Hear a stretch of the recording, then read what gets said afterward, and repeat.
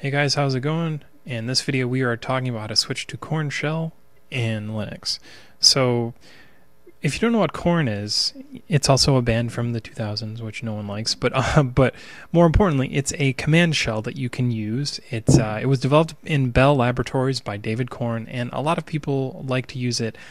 I know in some college classes that my friends had for a Linux class, they always make them use Korn for whatever reason. So it's pretty popular with academics and stuff, and a lot of Unix guys, so like older Unix users, love Korn.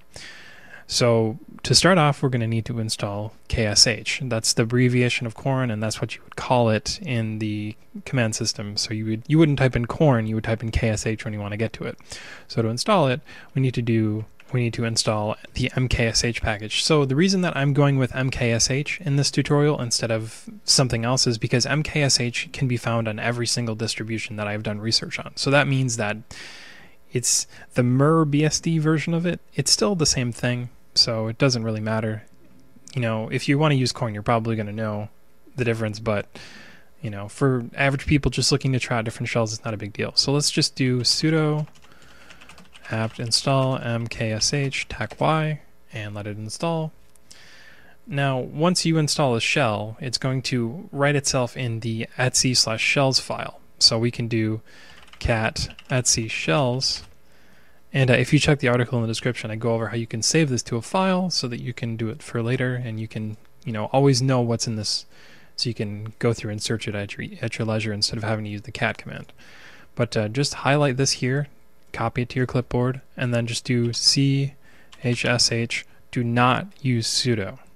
Do not do that. Enter your password, and then you can just do Control Shift V, and it should automatically change to mksh. And uh, we have to restart the computer, which I can't do right now, but we can also just access it instantly with KSH. And there we go, we're using KSH. All the commands are still the same. Uh, don't really see much difference unless you really